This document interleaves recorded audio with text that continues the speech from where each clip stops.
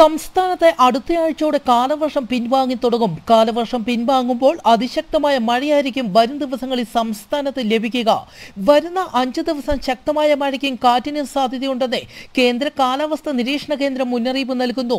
കേരളത്തിൽ കനത്ത മഴയ്ക്കും നൂറ്റി അൻപത് വർഷത്തിനിടെ കേരളത്തിൽ ഏറ്റവും കൂടുതൽ മഴ ലഭിച്ച സെപ്റ്റംബർ ആയേക്കും ഇതെന്നും കാലവർഷത്തിൽ രണ്ടായിരത്തി മുന്നൂറ് മില്ലിമീറ്റർ എന്ന ഹാട്രിക് നേടാനും സാധ്യതയുണ്ടെന്ന് തമിഴ്നാട് വെതർമാനും പ്രവചിക്കുന്നു. ഇന്ന് ഇടുക്കി ജില്ലകളിലും നാളെ എറണാകുളം ഇടുക്കി മലപ്പുറം കോഴിക്കോട് വയനാട് ജില്ലകളിലും സെപ്റ്റംബർ ഇരുപത്തിയൊന്നിന് ഇടുക്കി പാലക്കാട് മലപ്പുറം കോഴിക്കോട് വയനാട് ജില്ലകളിലും ഓറഞ്ച് അലർട്ട് പ്രഖ്യാപിച്ചു. ഇടുക്കി ഡാമിൽ ജലനിരപ്പ് ഉയരുന്നു. ഡാമിലെ ജലനിരപ്പ് രണ്ടായിരത്തി മുന്നൂറ്റി എഴുപത്തി ഒൻപത് അടിയിലെത്തി. ജലനിരപ്പ് പതിനാല് അടി കൂടി ഉയർന്ന് രണ്ടായിരത്തി മുന്നൂറ്റി തൊണ്ണൂറ്റിനാല് അടിയിലെത്തിയാൽ അണക്കെട്ട് തുറക്കേണ്ടി വരുമോ എന്ന ആശങ്ക. വൃഷ്ടിപ്രദേശത്ത് ശക്തമായ മഴ ലഭിക്കുന്നതിനാൽ ഡാമിലേക്കുള്ള നീരൊഴുക്കും വർദ്ധിച്ചു. ഇപ്പോഴത്തെ നിലവിൽ നീരൊഴുക്ക് തുടർന്നാലും ഡാം തുറക്കേണ്ടി വരില്ല എന്ന് അധികൃതർ അറിയിച്ചത്.